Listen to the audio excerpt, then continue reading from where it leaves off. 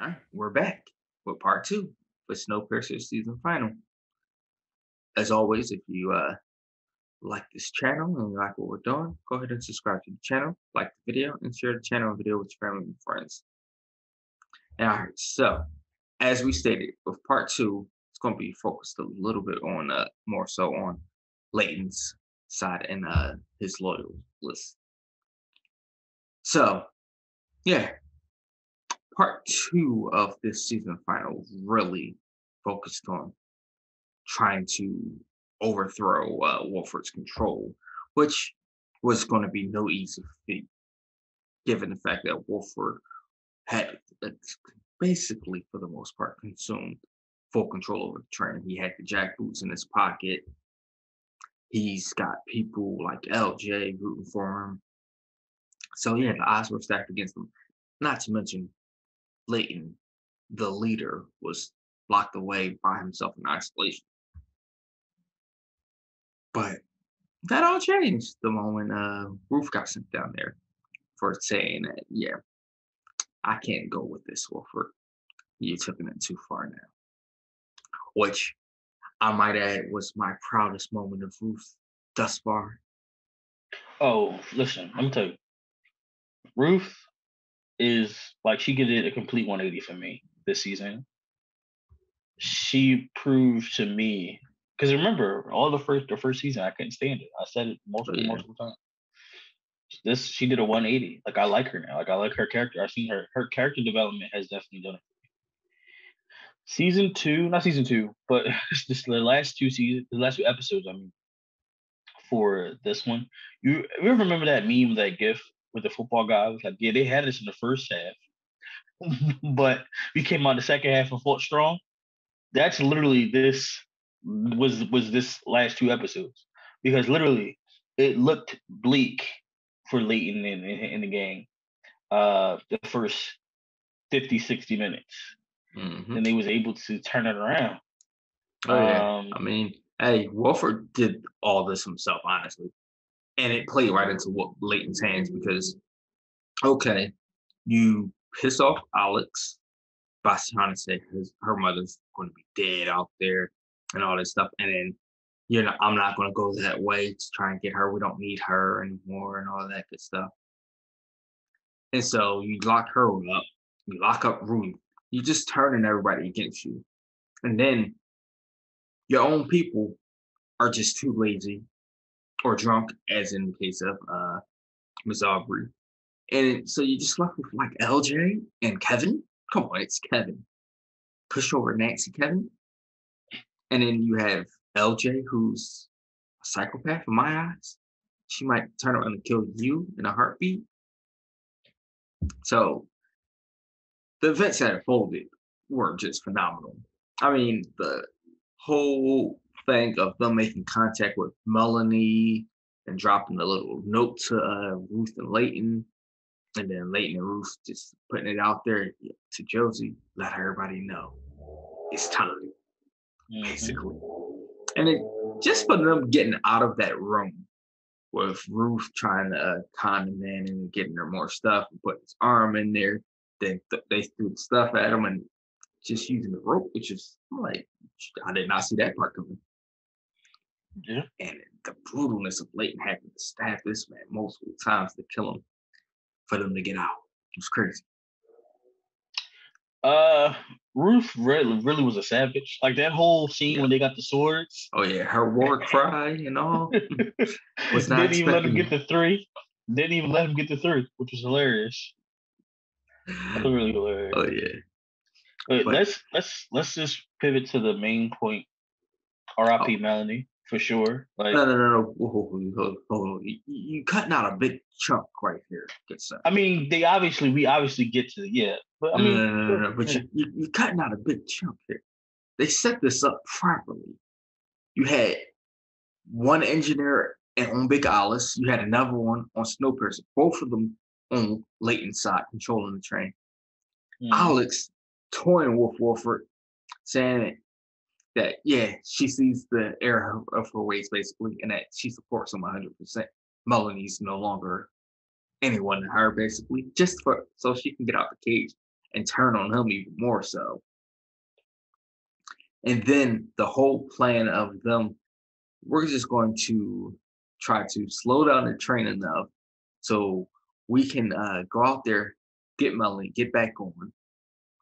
All this being orchestrated by people that once were loyalists to Wilford, and of course, people like Lee, which is crazy. So yeah, we get to the point of everything's going in motion, everything's happening in the plan. Train starts to uh jiggle a little bit, shaking all that. Wilford's getting a little nervous there. Poor uh poor Alex had to be the one to play just like her mother, Melanie, and answer, and uh do Wilford's betting to call the engine. And then Elgin just had to ruin it once again. once again. At that point, I'm sorry. I was hoping Alice would just stab LJ. Just stab her with the fork. Knock her off the train. Something. Because then that caused this whole commotion on uh, the engine. Which, mm-hmm. honestly, let's take back a step and go back into episode six.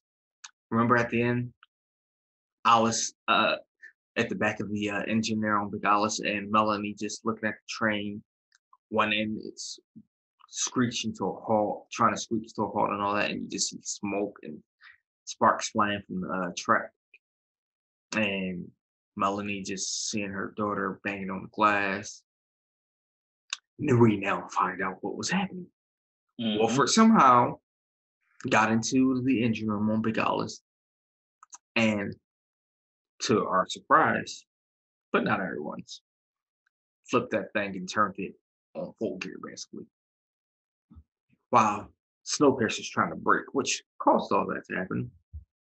Might I add though that almost caused trying to derail though, because it was kind of going around the area where going too fast could cause this destruction.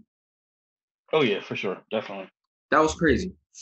Now I did predict that what it had to be some kind of uprising that Wilford was seizing control or something like that was happening.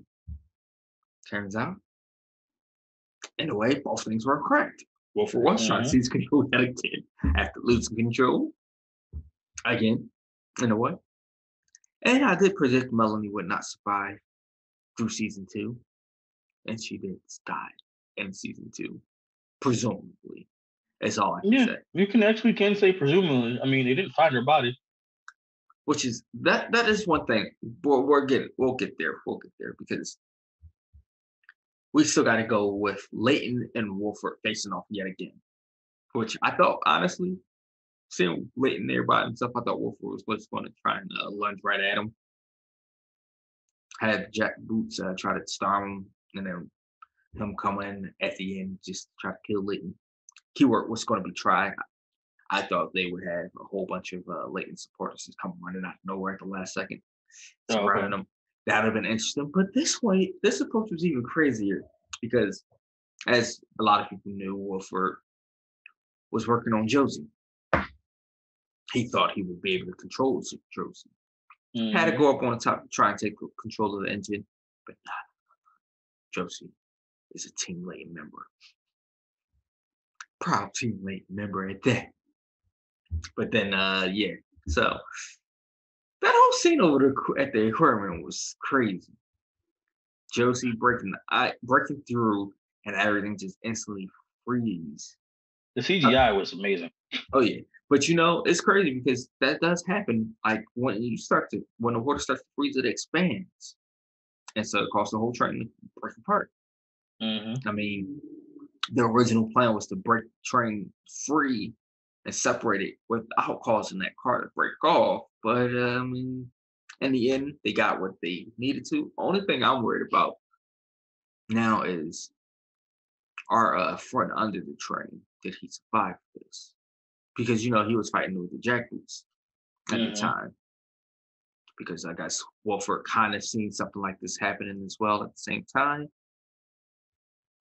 But uh I do love the fact that Miss Aubrey got knocked out of this part and is now a hostage. Ah, I went from being in charge of the night car to hostage. How the mighty have fallen. Yeah, man. She did it. She's another character who did a 180 this this season. I was hoping that she was this whole time. I really was hoping that um, Miss Aubrey was just playing the long game. Mm-hmm. Turns out it wasn't true. Mm-mm, not at all. This is something that uh, Wilford has over her. I don't know what you want to call it, whatever. It's Some weird just, connection that they have. Yeah, it's just a shame, honestly, because she has so much potential. Now, granted, we don't know what's going to happen with her in season three. All we know is now trains has been separated. They went mm-hmm. after uh, Melanie, found out basically she had it was not enough power to keep her warm and keep the drives warm. So she kept the drives warm. But where did she go? Now that's that's what I want to know. I thought she might have been in that little uh try to find a way to be where the rats were. That's what I thought at first. Warm.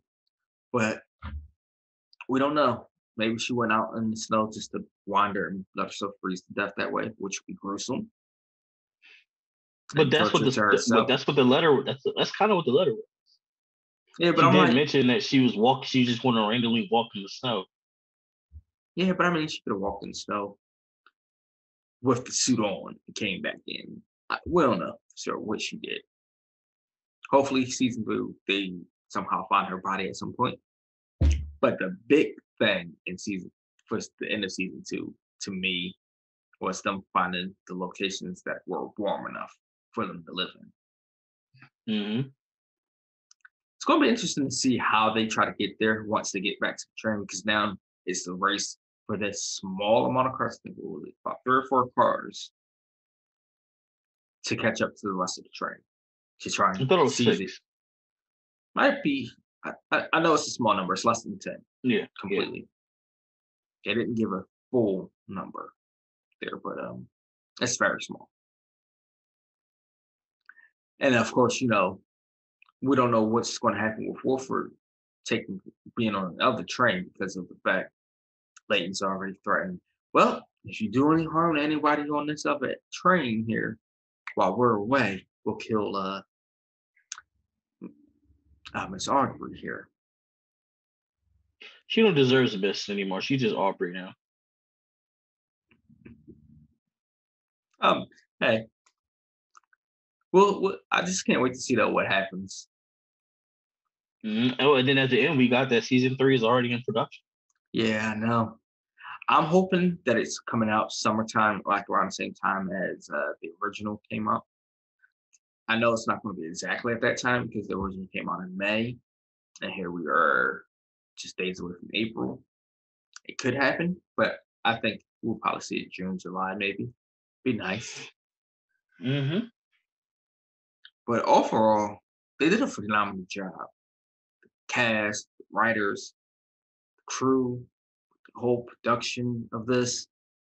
We even got some good views of the train, like uh, when got to see the uh, Northern Lights. I would guess, because I can't fully tell where they were at, but yeah, while the train was going, it was all interesting, but I still can't get over some of the betrayal that happened in season two. It's Wow. We still don't know what happened to the rest of the tail. Because they didn't show too many people in this final. They stuck to a certain number of characters, and that was it. Mm-hmm. Mm-hmm. So we still don't know what happened to Pike or any of the other uh, members for that matter, for the most part, or even uh, some of the other loyalists to Wilford that were still alive. Gotta see. I was kind of hoping Kevin would have got got it again. But I guess we gotta wait till season three. Let us know what are your predictions for season three in the comments below. Do you think Sean Penn's character, uh, Mr. Wilford, lives through season three? Or does he not even make it past episode one? What do you guys think? Let us know in the comments below. Till next time.